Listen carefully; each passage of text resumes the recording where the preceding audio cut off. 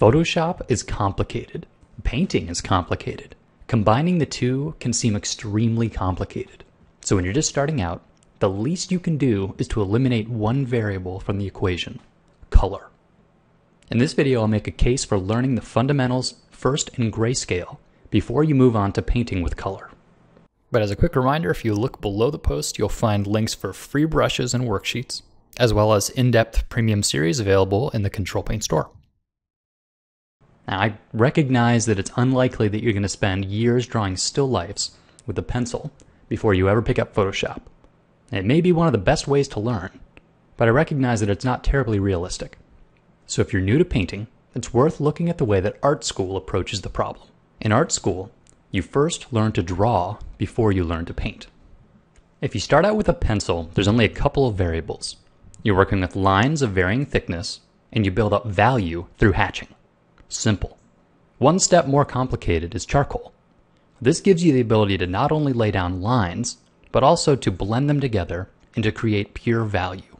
But either way, each of these is only working in value, no color to worry about.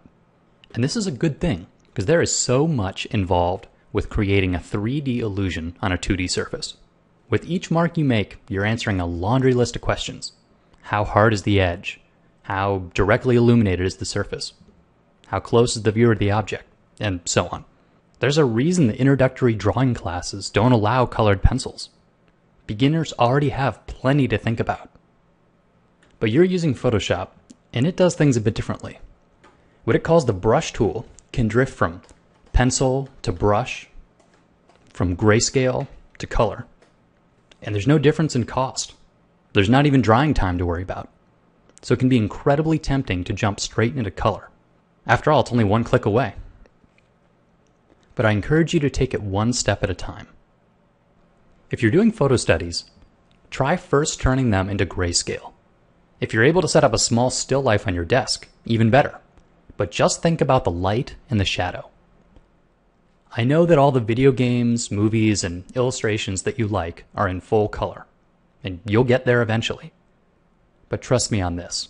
Try starting slow and limiting yourself to grayscale for the time being. It really is the surest way to discover lighting and to discover form. Good luck, and thanks for watching.